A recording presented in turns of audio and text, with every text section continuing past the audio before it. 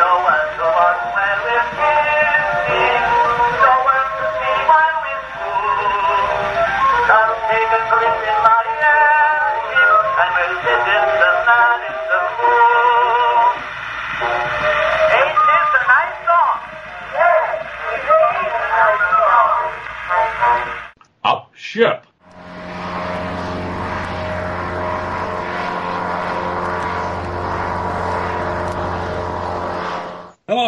Chief Engineer Rob Davis, welcoming you to Airship 27 Productions podcast number 18.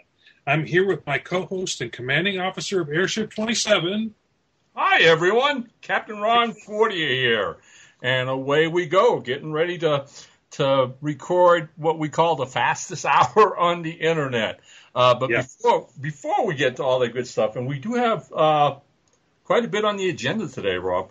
Uh, let's you know get through the the thanking our sponsors. And we want we are proud members of the Comics Podcast Network. You can find us on comicspodcast.com every single month. And I don't know, Rob, if you've ever checked out that website, but I did, and I'm I'm very impressed with uh, comicspodcast.com. Uh, Okay. Man, they have a lot of different. Yeah, I mean, on every topic and subject you can think of, all you know, surrounding uh, the world of comics and science fiction, movies, etc. So it's like that one-stop place. If you if if you've got a specific interest or a hobby and you'd like to find what podcasts are available on the internet, uh, head over to comicspodcast.com. You'll be glad you did. Wow. Okay. I, I wasn't aware of all that. I, I don't. I don't listen to that many podcasts, so it's. I, I don't. I don't have time. I'm too busy putting books together. well, right, but you know, and we we know this for a fact. A lot of our artist friends who Yeah. they're working late at night either listen to music or a lot of them like to listen to podcasts while they're working. Yeah, I, I found that's too much of a distraction for me. But Right. It's it's pretty much it's pretty much like talk radio in its in and of its own Yeah. way. okay, yeah, yeah. I, again, I usually, if I'm going to listen to anything, it's usually uh, music without lyrics to it. So I'm Yeah. not, you know, Yeah, I'm not mentally distracted. You do the exact same thing I do when I write because exactly that. If if if I'm hearing lyrics, it's going to gum up the creative Mhm. process in my own head what I want to write for dialogue or whatever. Absolutely. Yep. I've got it's either uh, classical radio station or it's uh, soundtracks. And I know you listen to a lot of soundtracks. Yeah, I do. I yeah, I, I'll pick out the ones that uh, the atmosphere of the mood suits what I'm writing, and then away we go. Uh, Yep. the, the, the joke about this is when I first started. Uh, the first novel I ever wrote uh, with uh, the late Ardath Mayhar uh, was a fantasy adventure called Tale of the Seahawks, and to get into that mood, I was in my office, and this was this was before CDs and and you know playing them on the internet, and I was trying to look through my long playing albums to find out you know which of, of the albums, the soundtracks I had that would get me in an action adventure mood. And sure enough, Rob, I had the John Williams soundtrack to the first Indiana Jones movie, Raiders of the Lost Ark. Well, I started playing that, and of course, it worked like a charm. All right, I mean, it literally. I but I it would the album would end, and I'd go over and I'd start it again. So of course, for over a month, all Valerie, the poor dear, heard all the time was dun dun dun dun, dun. and she- it got to the point where she hates that music. No doubt. you ever Yeah. going to finish that stupid book so I don't have to listen to that music anymore? oh my God! Funny things. remember. Headphones. She should have bought you headphones. yeah, yeah, yeah, which I do have, and I'm actually wearing right now. So, yeah, yeah, she did that a long time ago. She she she figured that one out. Okay. All right, hey, let's let's get to the uh, to the agenda. Yeah. here. I'll, I'll let you uh, lead off with uh, you Oh, know let's, yeah, let's talk Pulp Fest Please. 2016. Uh, it was another great show. Uh, it's always great to meet our uh, old and new and make new uh, friends and fans. Uh, and we sold sold out of several new titles. Uh, and you- as the show was going on, I, I mean on on Saturday already morning, Saturday morning, I was already telling Ron we should have brought more of this. But uh, how do you know? You don't know. So we, we sold all 15 copies of the Holmes and Houdini special, and we sold the. did we sell the last one of those? That was on Saturday morning, wasn't it, Ron? Or Yeah, those those yeah. yeah those went on Saturday morning. Uh, well, Saturday or Friday. I don't Those know. I think gone- I think we had one. Friday. No, those were gone Friday. That's right. They all went on Friday. They were First, gone. first day of the con, before lunch, all 15 copies were gone. And obviously, you know, uh, we'd gotten the word out uh, on the internet uh, that it would be a special edition. And boy, people came over to the table the minute we, we opened up. And those those kinds of things are fascinating, right, Rob? I mean, because you signed you signed them all and numbered them. Uh, Our good friend Mark Hallegra uh, was back at the show this year, which was really great to see him again. It's been a while since he's attended uh, Pulp Fest, and he came over immediately. Are those the ones? Those Are the ones with your cover? Blah blah blah. He goes, I want number one. I want number one. And then, which which I haven't, even, I haven't even signed and numbered anything yet. No, You- we hadn't finished unpacking. no. so the kicker with all that is uh, there was one guy who came up, and I think we had two or three copies left, right? Yeah. And, he, and he looked through them, and then he went, "Oh, this is number 15," and you said, "Yeah, right. I numbered them, you know, one to 15." So like there was 14 and 13 still left, and he goes, "Oh, I'll take this one. It's the last one." so he bought it for because it was number 15, okay. and I'm well, like and that's fine. Yeah. whatever, but but they're gone. and, and look, uh, again, you know, let, let's reiterate for all our loyal airmen who are listening to the show. Uh, rest assured, okay, uh, I've spoken with Chad Hardin. Chad's wicked, wicked busy with the Harley Quinn comic book for DC, but he's still on board to do the cover for the uh, actual book. And as soon as we get that cover back from him, uh, or from him originally as it is, Rob will put the entire package together. We'll get it off at Amazon, and everybody will be able to get a copy of Holmes and Houdini. I'll just slide it in there. Yep.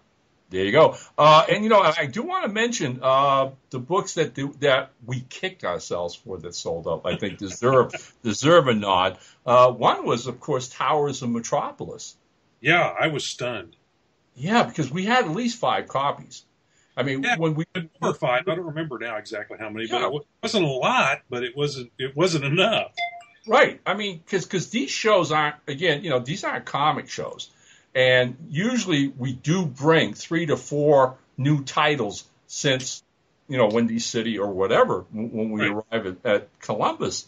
So you know we have to be judicious in, in what we pick, what we can afford from the inventory and whatever. And Towers of Metropolis have been selling online, which was what the thing was. So we figured, okay, well we'll bring five copies to the show and God, they disappeared on us. Uh, and then, even then, we had what? Uh, you and I had debated whether to bring any copies of The Giant, Legends of New Pulp Fiction. Yeah, we brought and we brought two. Right, because it's now been on sale for over half a year. Yeah, and we didn't. sold, yeah.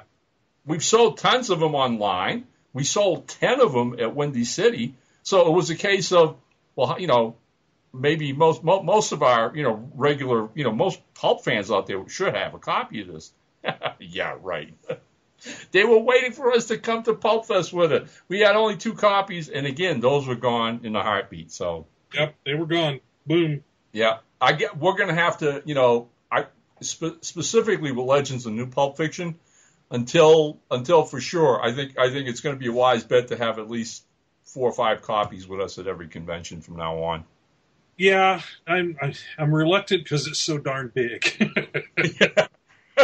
and, and it, it just you know it's one more thing to, to box up, but you know that's it, if people are wanting it, uh, I'll, I'm going to have to bring it along. So yeah, four or five I think probably be at least for the next convention or two. Yeah. Right. Okay, so why don't you pick up where I, I jumped in here? Oh, okay. Well, let's see if I can find my place here again. Oh, okay. Uh, yeah, we sold all 15 copies of the Holmes and Houdini special. Uh, we met Mark Justice's wife, Norma Kay, his widow. Actually, is the per- is the is the proper way to say that. Unfortunately, Mhm. uh, it was a wonderful experience for both of us. Mark Justice's The Dead Sheriff is now in production with Art Cooper doing the interiors and Zach Bruner the cover. Uh, the Year of the Pulp Women. this show was. Laurie Powers won the Munsey Award, and Barbara Doran I'm, I guess I'm pronouncing that correct. I, I never have asked her how to pronounce her name. Becomes right. a the first woman, first female to sit on Ron's New Pulp panel. Hooray for her! Yeah, I, I was I was thrilled. I really was. Uh, you know, having you know, there are a lot of, of uh, uh, women who attend Pulp Fest, and having Barbara along as a writer, never mind just an attendee, but an actual cr- creator, all right, participating in the show was was the first. And you know, I know she listens to the podcast. So Barbara, congratulations. Uh, I, am tickled pink that that you know you won that position in, in New Pulp history. All right, and uh, hopefully we're going to see more women joining the fray. Yeah, and it struck me that she was kind of nervous about the whole thing, and I just kind of, I, she's she fully deserves to be on that panel with everyone else, and I, I hope that this has kind of broken the ice for her, and she finds out it's not that bad. You just get up there and talk about what you get up there and you talk about what you know. Right. I mean, how can you it, how can you lose? You, you you're talking oh, about stuff that you know very well. Oh, oh, she was excellent, Rob. I mean, and and as as all these panels have been in the past uh, Barbara was was surrounded by uh, both old pros and and new right colleagues like herself because uh-huh. we had joining her on that panel was was our old friend Win Scott Eckert. Yeah, who's been at this game as long as you and I have. Oh yeah, he's he's a pro. At, he's a pro at, at panels. Absolutely. Right, and he has his own publishing house. Okay, uh, and is involved with uh, the late Philip Jose Farmer's estate. Ingrid KV Hardy's birthday. what the heck? That was an announcement telling me tomorrow is Ingrid's birthday on my computer. Okay. okay. All right. Thank you. Uh, Ingrid Hardy, by the way, is is one of the regular uh, artists here at Airship 27. So Rob's got that all taken care of. Apparently. Yeah, I, I know that. I know to let her know know tomorrow. Happy birthday. okay. Okay, and then to, to wrap up the panel, the new pulp panel thing, uh, we also had Andy Fix and Jeff Fournier, uh, which was their first time on that particular panel. So all in all, it was a really great hour, Rob, of talking about new pulp fiction, how to how people write it, how they approach it, edit it, and all those kind of things. And uh, again, we had a nice uh, audience in attendance, and it, it's just fun. Uh, I'm, I'm it's, it's wild because I, I no sooner got out of moderating this year's show that by the time I got back to our, our, our tables up at, at the, the main room of the convention, uh, I pretty much already got three people uh, scheduled for next year's uh, panel. Yeah, yeah uh, you, they were. Yeah, they were just tagging right along with you, or you were you're tapping them to be on next year's panel. Well, it was, it was almost it was it was by volunteers because one right. of the things. Well, I say volunteers. I recruit people and volunteer them. You know what I mean? so, so the old army sergeants taught us. You know. Yeah. Right. Yeah. Hey, Rob, we're going to do this. Yeah. Okay. well, like to say no now. one of the one of the things we want to mention is that uh, in Towers of Metropolis, uh, it was the first uh, time that we published a uh, piece of fiction written by a father and son team. Yeah. And that, that was our old friend Bill Maynard and his high school age son, uh, Mike, who right. was at the show. So, yeah. uh, you know, I wasted no time in talking to Mike, and hopefully uh, we will be talking in the future about him contributing uh, other stories to Airship 27. For a yeah. young man, he's following in his, his father's footsteps. He's an yeah, and if, Mike, if Mike is listening, hey, that was a killer hat, man. Yes. yes, it was. Yes, he did. Uh, so, so going along with that, I, I, I nipped Dak real quick and basically asked him if he'd like to sit on the panel next year. Because Great. again, we had a woman this year. Uh, I want to bring in that new blood. Okay, what's more new than a, a a writer who's still in high school? I think he's getting ready to go into his senior year. And then uh, our old old friend at Airship 27, one of our dearest friends at the conventions, Rob uh, John Bruening, just yeah. published his er- first ever pulp uh, new pulp uh, adventure novel called The Midnight Guardian: Hour of Darkness. Uh, which I'm currently uh, in the process of reading and enjoying immensely. And so, seeing John was now a published writer I nabbed him. He hasn't done a panel yet. And finally, the last of the three I've I've nailed so far was a, a gentleman we're going to talk a, lot about uh, as this show goes on, and that's our friend from uh, Windy City, Fred Adams Jr. Oh, is he coming to Pulp Fest next year? Uh, he, well, he will make an effort because he was there this year, which you know he said he would be. So he showed up that uh, Saturday. He, right. he okay. came for one day, brought a, a friend of his, another colleague, and in the course of our talking, I turned around and said, you know, you know, I'd love to get you on that new pulp panel here, Fred. You haven't done that yet. So fingers crossed. It's his stuff, and yeah. he's he's an he's an excellent addition to any panel. I've had him on a couple of different panels, and he's uh, he's always apologizing for uh, you know, excuse me for just a second, and I'm going, no, run with it. oh, go. Oh, I mean, right. Fred knows his stuff. He's yeah. he's very he, he's a former uh, college professor. I mean, gosh. Right. He taught English composition. So right. you can imagine when I get his manuscripts, Rob, they are, they are a joy to read. I mean, literally, if, if, if I find a typo or two, that's that's my editing job with Fred. Okay, it's it's that easy. I just sit back and enjoy it. All right, so why don't you wrap it up because I'm going to let you finish uh, th- this uh, agenda topic. On Pulp Fest 2016. Yes, uh, and here's Here's a really fun note that we can make is that fan Nick Sauer, S A U E R, I guess that's how you pronounce it. I don't know for sure. Yeah, he was there because his wife had given him a visit to the, to Pulp Fest as a birthday gift. I have never I have never seen a guy with a bigger grin on his face. He was oh. like a kid in a candy shop, running around the place looking at stuff and figuring out what he could spend his money on you know how to spend his money. He was it, it was amazing to watch him. He, like I said, his his grin was from ear to ear, just oh. having a ball, I and was, his was, wife was having yeah. a ball watching him. Yeah, so, I, I, was, I was, I was, I was so taken when he came over to our table, right? And I saw his name tag, and you know, I've known Nick on Facebook for quite, quite a while now, and I mean, he's he couldn't contain himself, right, Rob? He was like jumping up and down. I'm yeah. here, I'm here, I'm at Pulp Fest. So then we're, we're like looking at him going, okay. And he goes, my wife gave it to me as a birthday gift. And his birthday was months ago, you know, but she yeah. kept hidden. She got the, I guess, the travel arrangements. She got tickets to the show. And that's what she gave him for his birthday gift. She gave him a pulp convention. So, wow. Happy birthday, Nick. That was, that was, and, and nice going, Nick's wife. I, yes. Get her, didn't get her name, so I'm sorry I can't use her name, but my goodness, what a what a great thing! I mean, and he was. There, there's no other way to put it. He was a kid in a candy shop. Just, oh yeah, yeah, just crazy. Yeah, so, that that was that was so much fun for us. We had a ball. That was crazy. And yeah. so yeah, so there you go. That was uh, Pulp Fest uh, 2016, as Rob said. Uh, one of the interesting notes, and then we're going to move on. Uh, one of the real interesting notes happened, I guess, Saturday night at the annual business meeting. All right. Yes, sometimes we go to those, but this one we decided not to go. So right, so and we heard about it Sunday morning from our friends who had attended. Well, apparently, uh, there's been some issues with the hotel venue in Columbus.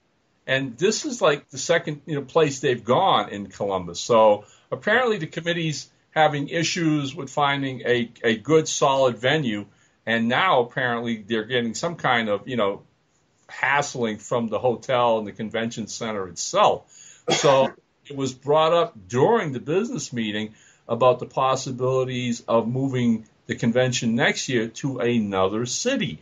And that happened to be Indianapolis, which Rob and I would be overwhelmingly happy about. Well, yeah, that'd make a, it, it would chop three hours off of my trip and Ron flies into Indianapolis anyway, so because it's a little cheaper than flying to Columbus, and I pick him up and drive him on into uh, to Columbus. So that would that would shorten uh, the trip for both of us. Ron, it, it, we that would eliminate the uh, the visit that Ron and I have for three hours on the way, but but uh, we we would gladly give that up to have the the convention be a few hours closer. Yeah, that's it. That's it. Rob Rob gets home earlier. I get home. I don't have to rush to the airport like I Right. do, you know, when we leave Yeah. from Columbus because we have to drive all the way to Indy for me to catch my plane. All those kind of things. And you know, Rob, you made a point which I kind of hope, you know, again, all our pulp fans listening to this, hey, have no no, you know, qualms about writing Jack Cullers or Mike Chomko or the other members of Pulp Fest, um, you know, managing committee and, and giving them your thoughts and opinions, okay? Because they do take them into consideration. But Yeah. one of the things Ron had said when we talked about this, uh, you know, leaving the convention to drive to Indianapolis that day, was the fact that aside from everything else, what they would immediately do is bring the con to maybe a, a huge new audience. Because you have to figure, you know, Columbus isn't all that far from Indianapolis. It's what, a three hour drive for us, Rob? Yeah, it's about three hours, two hours and forty. some- I guess is what, Right. uh, so, so says. I, w- I would hazard to guess that we're moved to Indianapolis.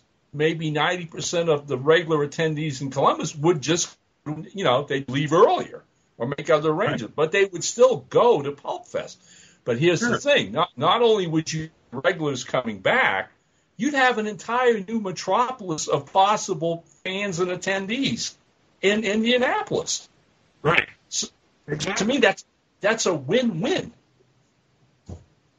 We will see. We will we will see what they will do. Okay, I I'm sure they're going to have the winner to talk about it, and I, and I, I would hazard uh, they won't go far beyond uh, the end of the year because they'll have to make arrangements with hotels and whatever. But Right. uh, hope, hopefully a done deal, but this is but this is uh, we we like the idea, and I think it would be a plus plus for them by you know it's not that far from Columbus, yet it's a whole new it's a new city might have some new, new fans to bring in. Plus the old ones wouldn't have that much further to go. Not really. I mean we you know most of the folks that come to to uh, Windy City they're driving you know at least as far. So Right. you know, th- three, four, five hours. So Yeah.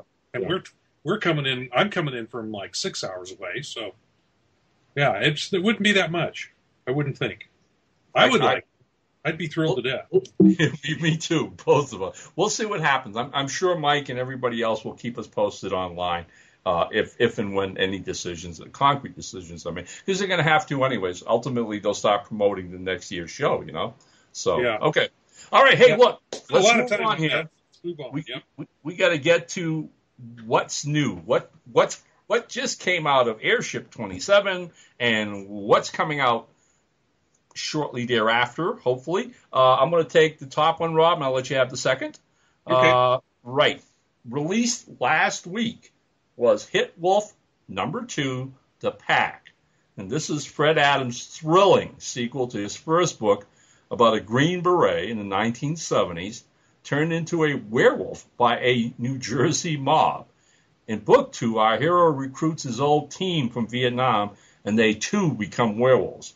Lots of great action in this one. Clayton Hinkle is once again on board doing the interior illustrations, and we got a dynamite cover from Zach Bruner, uh, which he turned in. It, it's it's, it's mind-bogglingly beautiful. It- Yep. And so that was released last week. Uh, and and believe me, if you want to talk about a one-two punch, Hit Wolf, uh, the first Hit Wolf was one of my favorite books of all last year. And getting to do the sequel, believe me, folks, Fred doesn't doesn't ever slack up on the quality of his work. Hit Wolf 2 is a brilliant sequel. And you know what? I want to throw in this little real quick thing uh, that Fred told us, Rob, uh, when he came up to our table at Pulp Fest. Uh, he was at a book signing recently, and on the table were, you know, several of the books he's done for us here at Airship 27, including Hit Wolf. And a gentleman literally walked up to him, pointed at Hit Wolf, and asked him, Has this been optioned for film yet? At which, at, at which point, Fred said, uh, No. And the gentleman gave him a card and said he'd be in touch with him, Rob. And Oh, suppo- yes, uh, supposedly he's involved with a production company. There you go. Wow. Just the just the cover and the and the concept. Right. Oh. He got it immediately. The, the first cover was, of course, by Ingrid Hardy, who has a birthday tomorrow, and right, and basically it's it's the gunman and a, a werewolf leaping off the cover, and the guy Right. saw the title and the cover, you know, details pretty much the plot of what you're going to get in the book, and that was it. He liked it enough to leave Fred his card and say he would be in touch. So you know, hey, uh, like like we keep saying, uh, the movie people are finding Airship 27. Wow, that's great. Oh, fingers crossed. fingers crossed. All right, what what Very what cool. what actually came out today, Rob? Today came out uh, Rick Lai's Major Sabbat. Sabbat. I, it's spelled Sabbath. S A B P A T H, but it, Right. everyone seems to want to pronounce that Sabbat. So that Right. make, that kind of makes some sense. But any, anyway, this is a tribute anthology to the spaghetti westerns of actor Lee Van Cleef. It was proposed by Rick Lai, and it features stories by Rick, Frank Schildiner, and Eric Franklin.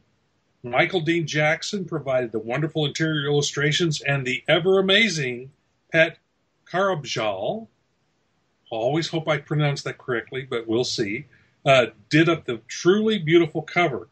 Uh, and has it has a very lengthy essay by uh, uh, Rick Lai in the back of it about Van Cleef's uh, career in those Italian westerns. It also includes some uh, some stuff about the characters that are that are in the book that are kind of based on some of the characters in the movies. So it's it, and that finishes up that book. Uh, it, it brings it up to uh, it's over two, slightly over 200 pages long. Yeah. So it's, it's and I didn't bump the price up, although I, you know it, it will cut into our royalties just a little bit. Mhm. But uh, because because of the, the the size of this book, it's right on the edge here. So you're still going to get that if you get it at Amazon. It's sixteen ninety nine, and Right. as always at conventions, it's fifteen dollars, and that's a bargain for this particular book, especially if you like the kind of essays that uh, Rick has, has outlined in the back of this. If you're a fan of Lee Van Cleef, this is really uh, interesting information about his uh, his being in these in these pictures where he played this particular bounty hunter type character. Yeah, so uh, you know, this book's only been out now. Uh, uh, you know, by the time people listen to this, a couple days. But Frank emailed me. Frank Schildiner emailed me and said he looked at the Amazon numbers uh, later this afternoon, Rob, and apparently we're getting all kinds of sales right off the bat. Yeah, I, I, I was on there earlier to, to uh, one of the one of the writers, Eric Eric Franklin, had- had ordered some copies of the book. So you know, I popped into Create Space and saw that it, that's it's uh, it's the number one seller this month. I mean, the month is only what a week old, Yep. but it's uh, it's already the number one seller for this month at this point. There's another one, you know, right behind it, but uh, I think it was I can't remember whether it was the Persona or was another book. But anyway, Wow. uh, yeah, it's right it's right up there. Yep, That's amazing. I it, it, yeah, that- crazy. It- well, you know what? Hey, look, uh, for all you guys listening who bought copies and are going to buy copies, uh, thank you so much. Uh, we have Yeah. the we have the most loyal fans in the world out there, buddy. We really do.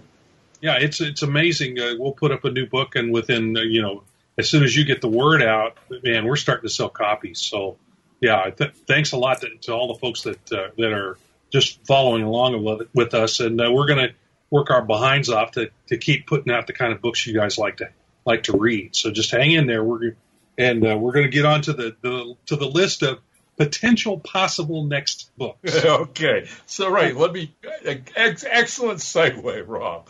Uh, yeah, with two books out in two weeks, can we get three books out in three weeks? I there, there exists the possibility here. yes. Uh, and if that's the case, that that third book is going to be uh, Dead Man's Melody.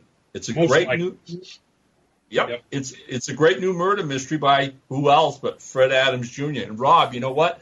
This is actually the first novel Fred ever wrote. oh wow, okay.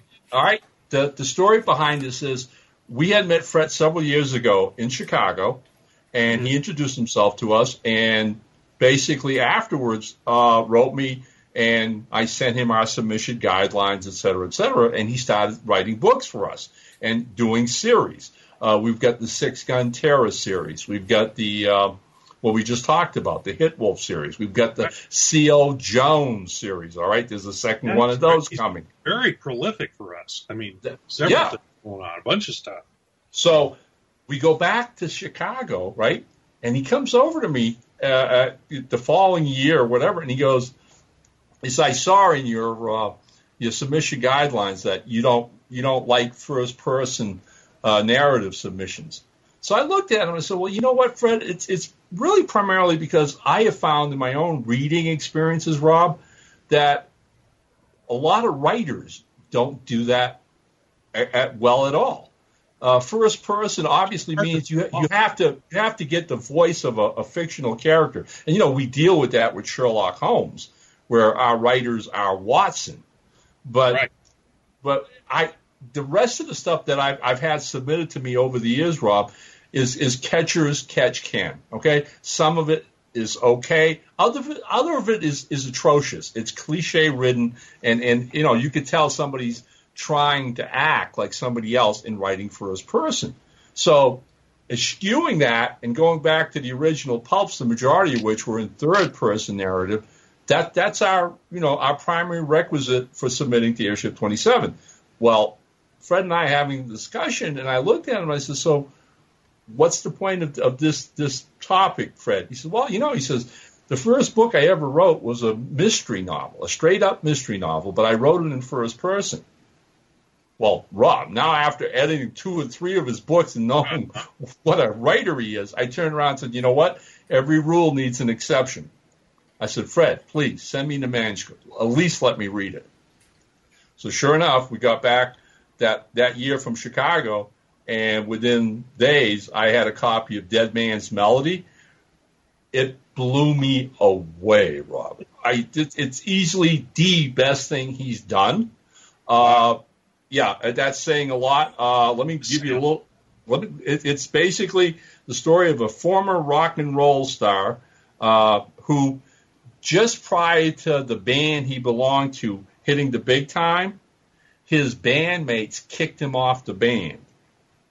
So now it's 15 years later, and he's gotten by with playing, you know, small nightclub one gigs whatever, teaching music at local schools and whatever, and he's put the past behind him. Until one morning he wakes up and he listens to the radio, and the singer who had basically kicked him off the band was found murdered, shot to death. And lo and behold, the police come knocking on his door. The character's name is Sam Dunn. And the police think that he's holding a 15 year grudge and suddenly he's a person of interest. Yeah. So, okay. So, as much as he tries to convince everybody that's foolish that he put that all behind him, cops are cops. And they keep bugging him and until eventually Dunn realizes the only person who can clear his name is he himself. And he starts investigating on his own. Rob, it's it's it's a it's a phenomenal, great mystery written like the stuff that you that you and I would have read uh, in the paperbacks back in the '60s. Right. Yep. Okay, he pl- he plays. It- Yeah. It's set in the 70s. I kind of got, you know, I, I'm always talking about how, you know, I don't read our books, but yeah, every once in a while I'll pick one up and I, when I'm putting it together, I'll a phrase or two will catch my eye and I'll find myself, uh, you know, three three or four pages later going, wait, I'm not reading this. I'm just putting it together. Uh, there's sections in this book that dragged me in. Just just little glances of of uh, phrases in his in this book really Well, grabbed me, and I ended That's see, bravo. myself reading it. That, and that's what he does. And that's why Fred does first person brilliantly, like all the classic mystery writers, okay? Because he becomes Dunn in the book. And his his twist and choice of words is almost poetic, my friend. Uh, I have so much fun, and and so here we go. We finally uh, found a, an interior artist in a gentleman named Richard Junn, who was sent to us by my old Green Hornet pal uh, Jeff Butler Uh-huh. and you are going to be you are going to be handling the cover. And even as you and I are speaking right now, uh, another part of the Airship 27 family is proofreader Gordon Dymowski, who's Yep. proofreading it. So with fingers crossed, uh, sometimes in another week, seven days or whatever, uh, Fred's first ever novel, Dead Man's Melody, will be hitting uh, Amazon, and I'm I am psyched. I'm delighted and thrilled by this. And the last thing I'm going to throw out about all that, Rob, is that uh, he just sent me a new Sam Dunn book. So we have a sequel in the works. Yeah, and, and on the cover itself, it says a Sam Dunn mystery. Yep. So yeah, so yeah, I figured it was going to be a series from that. So I made sure that was on the cover, was in the was in the uh, the logo. So Okay. well, hopefully we can do some little carryover in the imagery somehow to make make sure people see that that, that it's the same same series that that the first one is. We'll see how that goes. all right. It'll be a, cha- a challenge to your design skills, my friend. Yeah. Yeah, I get those every once in a while. So All right. Like- so so what? So what's a, what's this, I'm ready. what's a good bet for after Dead Man's Melody? Um, well, it could be. I know we've had most of the pieces of this next one, the Phantom Detective, uh, all because I know all the stories are in. Uh, and artist Andrew Ritchie is is still working on the interior illustrations. So, um, and Pat Carbajal, uh, he says that he's he should have the cover to us by the end of the month. So that that might be the one after uh, after uh, Dead Man's Melody. So Yep. we might actually we might actually have four. Well, it might not. It'd be four books in five weeks, maybe. Yeah. with with some luck. Yep. Yep. You know, for a year that started slow, it's picking up pace. Well, it, you know, it does this. There, there are just pockets of of uh, it's feast or famine, as I always call it. Uh, the first of this year was fe- was famine. Yeah. Uh, then we kind of hit a, a small feast, and now we're hitting a big feast. So you know, it, it just happens that way, It- and it's completely unpredictable.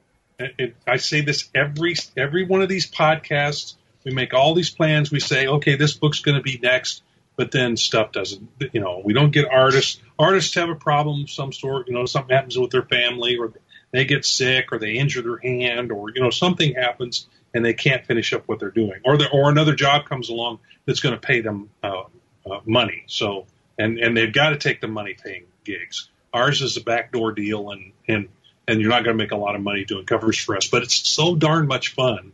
That, that's why we get so many people to work with us because it's it is fun doing these pulp covers. But we never know what's going to happen next. Okay, so, look, let, let, let me pick up on that thread, all right? Because again, you, you know, we, we do want to include this every time we do a new a new show, uh, because if you, if you saw the queue that Rob and I, you know, keep pace with and, and line, uh, new books are coming in every single week, uh, every single month. I mean, in the last uh, two weeks, Rob, I, I've literally gotten in four novel submissions and, two, and and three short stories. So you know, th- there's there's no lack of material. Now, j- you know, a good topic that I want to just cover in a second, and I'll jump into all this other stuff. Uh, several of our colleagues and competitors uh, have found themselves in a similar situation of being flooded with submissions and have gone to the point of saying, okay, well, you know what, we're going to have a moratorium. So every now and then I'll have people say to me, "Will you, will you guys ever do that?" And my answer is, not really. I don't ever want to shut that door. But No. what but what I've done now, though, and, and because in all fairness, uh, when a new writer comes to us and says, or even an artist that says, "Hey, you know, I'd really like to work with Airship 27 Productions," the first thing I tell them, Rob, in all honesty, is, "Well, make sure you have a great deal of patience." because again, and I tell them about the randomness of how these books come together. And because they're a back end deal and because nobody gets rich working for us, we don't pressure people and we don't give them deadlines. As books get assembled, they go into the production queue and they get put out. If it takes a while for a story to come in to fill a book, then that's what's going to happen. If it takes a while for an artist to turn in interior illustrations, that's what's going to happen. Well, I mean, literally, we've had books, Rob, that have gone as long as four years before they were completed and put out. Yeah. So, again, my caveat to new creators who want to work with us is hey, you know, if you have the talent and, and the quality of work, we definitely want you to be a part of the Airship 27 family. But please understand, we do the best we can. We're a two man operation. And it may, the average, I would say, is between two and three years from the time you submit something to us and we actually get it out. Now, of course, as, as everything else, sometimes we can get a book out within a couple months. And, and I'm thinking of Bass Reeves last year, Rob. Right. Yeah, that was one. Uh, of course, the, the, Legends book, that book, that, that didn't take two years. Right. Uh, so, right. And look how big that thing was. Yeah. And then, and then there's Sinbad that's another yeah. one that came together seeming, seemingly overnight. You you pitched the idea out there, and and just almost instantly we had submission. We had a, we had a book, right? Crazy, so, right? So we can't like guess. So again, I just want all our creators out there to be aware. It's not because we ever push anything back. We don't do that. We we work our butts off day in day out, week in week out, year in year out to get these books out as as quickly and efficiently as we can. But there are going to be times when that's impossible. So if you have the patience and the talent, come knocking on our door, and, we're more than willing to say welcome. So, yeah, and part of that part of that too is that it, again, like Ron mentioned, it's a two man operation. You know, Ron reads all the scripts and you know and kind of edits them and gets and helps those folks who need a little bit of help getting their their scripts together.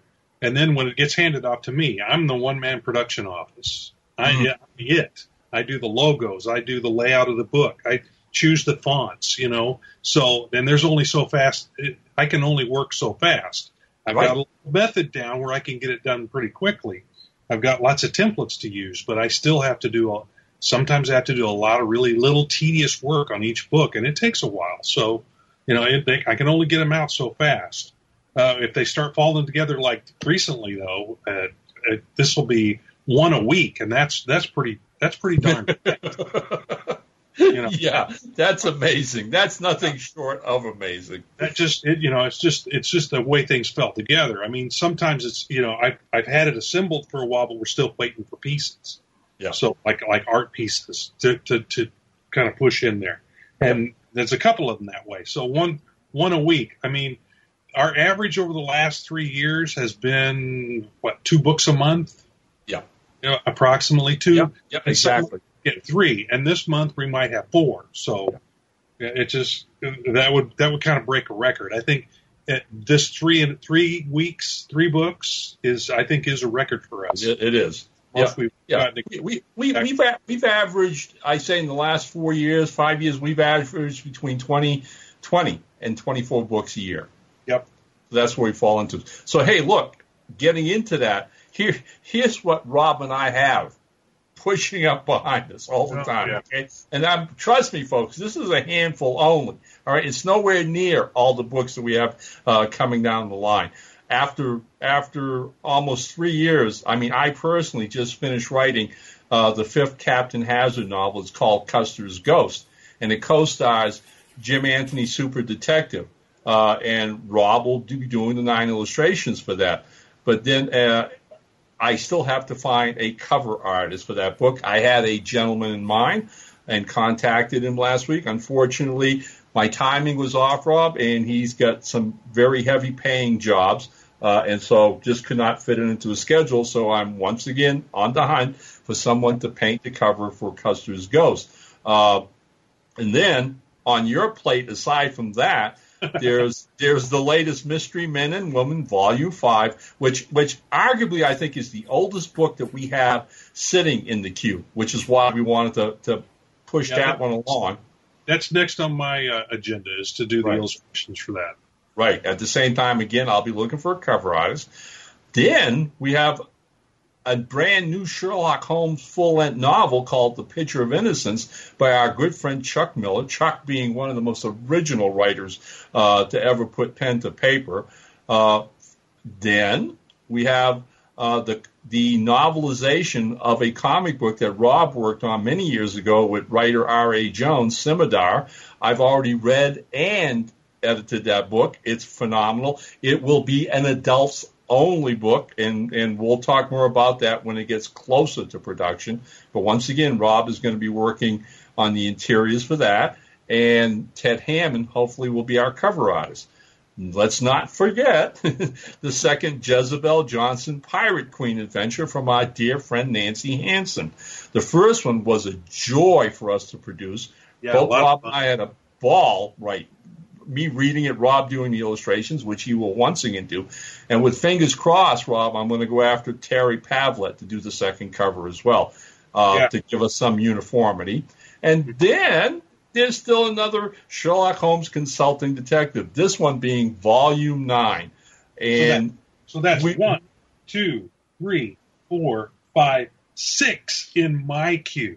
That's right. In other words, if you were listening, those are all those are all titles that Rob does the interior illustrations for. So, again, uh, hey, this is a good time to ask for artists, Rob.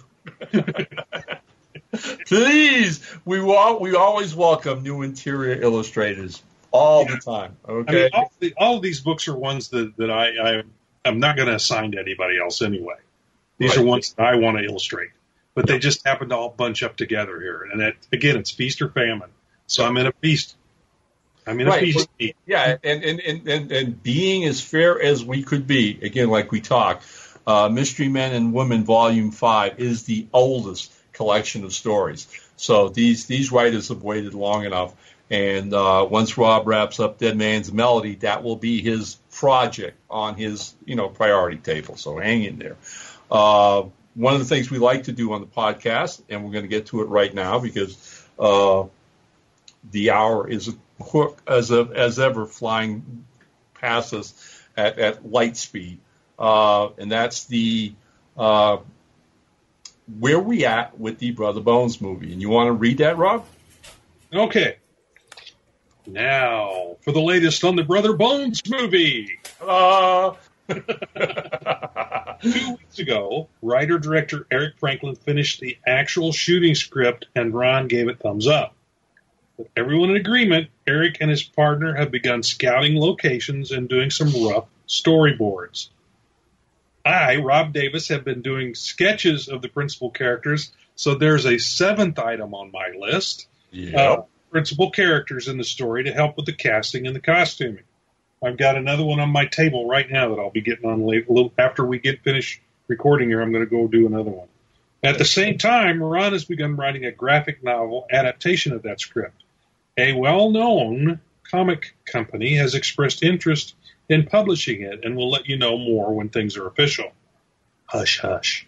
yeah. Uh, mum's the word. Okay. right. Meanwhile, we did sell several copies of the promotional movie posters I did up for the Pulp Fest for Pulp Fest, and we still have some left.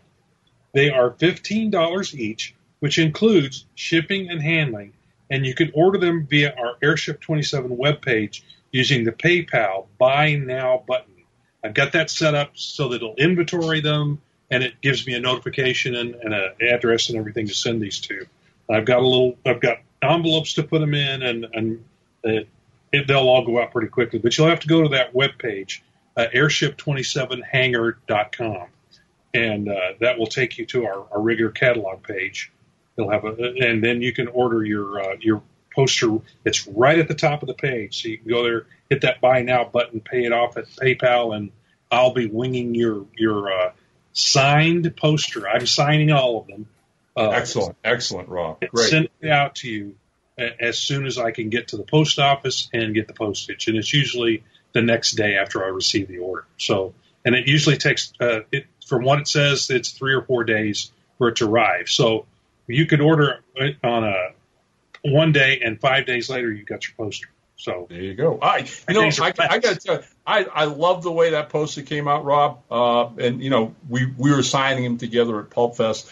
Uh, I know of two people uh, who ordered them and are, are thrilled uh, they, they've received them. One was Teresa Bain, Right.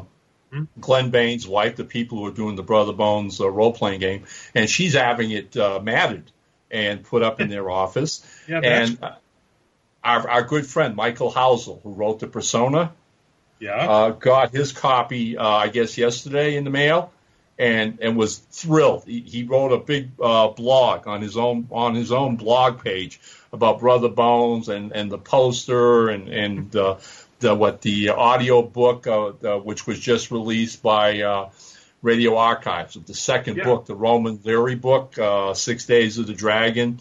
So, you know, people are, are, are getting on the Brother Bones uh, bandwagon. I, I couldn't be happier. And just to add to what you read, okay, um, I got a letter from Daniel last week in this whole process. So I'm just going to read exactly what Daniel wrote me uh, so fans will get an idea of how much work uh, Daniel Husser and Eric Franklin are doing.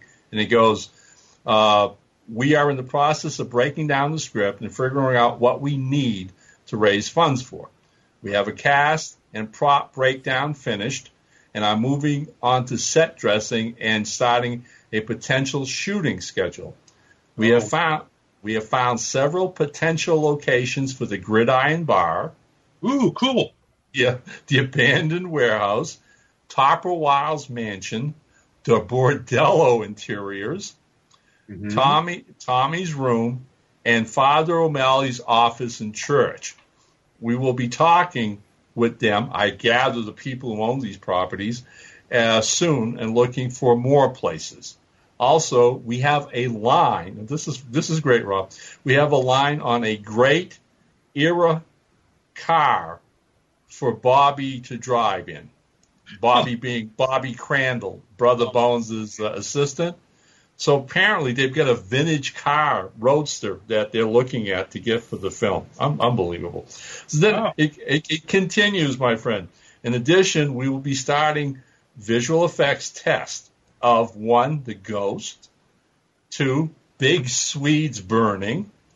So, that sounds bad enough. That's that is that's not as appealing as a cookout as you might think. Uh, all right. Uh, three, the twin effects, which is going to be wild because whoever the actor uh, who gets that role is going to be playing the twin brothers. That's going to be great. That's you know a challenge in itself. That is a real acting challenge, but because you're acting against yourself. Yep. Usually, usually, uh, uh, just for folks, because I've done a little bit, I did a little bit of this when I was in college, and, and did I did a little bit of film work. It, it's what you've got is you're you're acting you're you're acting both parts, and when you're acting one character, someone else is off stage, reading the lines for the other for your other half. So you're not really even acting against yourself. You're acting against somebody reading the script. So you've really got to have your mind in it and Yep. do it right. It's tough. Okay, and so finally, the last couple things uh, that will require special effects will be uh, the ether, where Tommy meets his spirit guide, and Ooh. ultimately, yeah, and ultimately Tommy's ghost in that warehouse scene, uh, which I know you're familiar with because you've read the stories, doing the illustrations. Uh, he ends it with saying, "Daniel and I are looking forward to beginning to see." To these projects next week, which is the week we're in right now, Rob Oh, and cool. we are yeah, and we are excited to see uh, more of Rob's excellent character sketches. Uh, and signed Eric Franklin, one of the co-producers and owners of Franklin Hustler Entertainment. So there you go. Uh, while at Pulp Fest, Rob uh, brought the two-minute video uh, teaser that the guys had made. He Yeah. pulled it out on his laptop and started playing it for our friends at the convention. And believe me, within minutes we had a large crowd anchoring around the airship 2017. And what what was the reaction, Rob? They were stunned. It, it, everybody was stunned at how, how good it looked. And once we told them that was done in a weekend, they we really got stunned uh, responses. Yep. So yeah, everyone was everyone was uh, thrilled. I mean, uh, round of applause. I think is probably the best way to say it. They all they all really liked it. We're generating a buzz, my friends. We really are. And uh, hopefully, uh, Daniel and Eric both plan on sharing uh, images with us as well, Rob. Uh, we'll, we'll hopefully get to see uh, some of the early storyboards and some of the location photography they'll be shooting. And as as we can, we will share those with our friends on Facebook. Yep. Okay. Hey, we got a question. We got a question from our good pal. Just have time to answer it. yes, our good buddy Gordon Dymowski. Why don't you read it, Rob, and we'll get into that. All right. Here's the question Are there any public domain characters that you haven't published or about to publish that you and Rob would love to create uh, anth- anthologies or stories around? Uh, there's no need to name specifically if there are plans afoot. A simple yes or no will do. Also, I hope recording goes smoothly and you don't have two unplanned rehearsals before that big show, like we did last time. Yeah, but So for those of you, for those of you, I, I hope people actually got to listen to episode 17 because boy, it it took blood, sweat, and tears for us to get it out, didn't it? Yeah. Oh my gosh, three three times through that. But anyway, it, it, it- third time's the charm. But anyway, he wants to know which which public domain characters that we haven't published or are about to publish that you that the the two of us would love to see uh, some anthologies on. And I I haven't really given any thought to this, to be honest. Anything you've got? Yes. Uh, look, uh, I, I, I want to thank Gordon because Gordon Gordon understands this whole publishing thing. He's a writer himself and, and one of our our writers and a proofreader. Uh, in, in parentheses, he does say there's no need to name specifically if there are plans afoot. And so, right, I cannot name this character. What I will do is say this. All right, uh, there there was an old radio character, uh, a hero character from the golden days of radio, Rob, where they had the Shadow and the Whisperer and G-Men and all that stuff, right? There was a there was a really really popular radio program with a hero character, all right, uh, that was around for quite a few years. In fact, uh, in his uh, autobiography, Stan Lee mentions the fact that this particular character uh, was a great inspiration to him as a teenager, listening to it on the radio, and was responsible for him creating uh, one specific Marvel comic character. Well, Okay. Over the years, I've heard radio uh, broadcasts that you can find on YouTube or whatever from this character. And I was recently talking with our good friend at Moonstone, Joe Gentile. Well, you and I have done a book for Joe uh, called Faces of Fear, in which the Black Bat teams up with the Purple Scar. Well, Joe is so happy with that particular novella, which should be out, I think, Robin, maybe another month in the most. Yeah. All right. yeah. I think that's right. Well, while at Windy City this year, Joe and I got to talking, right? And Joe said, Would you and Rob consider doing another one of those? And I said, I'm pretty sure we can fit it into our schedule later, you know, the start of next year. Yeah. Hmm? Yeah. Yeah. Yeah, So- not this year, but the next year. Oh, And so, so I says, are we are we talking novella and you know Rob's illustrations, the pencil stuff? And he goes, definitely. And he turned around and told me this. He says, I'd love for it to feature the Black Bat and Domino Lady. All right. And I went, okay. And he goes, remember that character that you liked so much on radio, Ron? And I went, I sure do. He says, could we incorporate that character in the story as well? So it's basically going to be a story with three pulp heroes and the premiere of this classic radio character in print and prose for the first time ever. So to answer your question, Gordon, yeah, we're we're still finding such great public domain characters out there. Stay tuned. We'll give you more information as time as we're allowed to. cool. And that's it. The hour is done. Uh, it's zip by as, as ever. And Oh. uh, yeah, uh, look, one last time, thanks to everybody at Pulp Fest who showed up, uh, and then especially one of one of Airship 27's loyal fan, a gentleman named Ken, who walked away with almost half our inventory the day he came. and I and Rob knows I I ain't kidding. Oh my God! Uh, yeah, and I was so I was so happy that he found that many of our books. I, I gave him one of those uh, Brother Bones posters as a as a, a, a Uh, thank. I- right, as it, right. I mean, I, I, nobody has ever bought as many books from us at one time as Ken did. So, Ken, I'm sorry I don't remember your last name, but you are one of our, our best, best you know who you are, Ken. Yeah. God bless you, sir. Okay. And God bless Jack Cullers, Mike Chomko, Ed Hulse, all the guys who put on Pulp Fest. Uh, Rob and Nick I. Sauer's wife. Yeah, you, you are, you are one hell of a wife. He That's it. Very happy man. Yeah. Okay. That's it. We got to get out of town let Sparky Brant Fowler put this all together. Hopefully, it'll be out by the end of the week. Once again, loyal airmen, thanks so much for listening. Rob, say goodnight. Good night, everybody, and Ron. downship.